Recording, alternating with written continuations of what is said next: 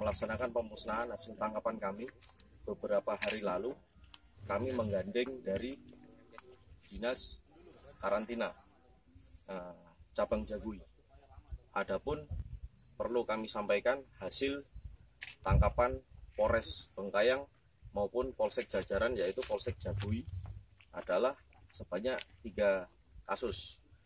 dimulai dari laporan polisi nomor 131 dan 132 Satreskrim Polres Bengkayang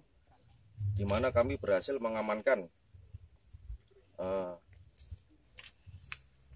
63 kotak daging kerbau beku merek Alana yang masing-masing sebanyak seberat 20 kg per kotak dan juga 57 kotak daging beku Alana dan tiga kotak sosis ayam untuk sosis berat masing-masing kurang lebih 10 kg ini dengan tersangka inisial Hari ditangkap pada hari Sabtu tanggal 24 Agustus 2019 sekitar pukul 21.00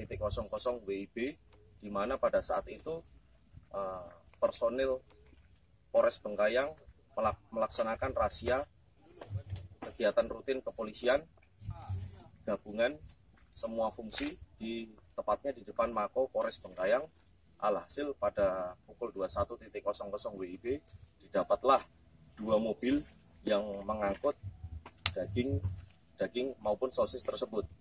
Yang pertama mobil Innova warna hitam dan yang kedua mobil Avanza warna silver. Jadi untuk total dari Polres Bengkayang sebanyak 146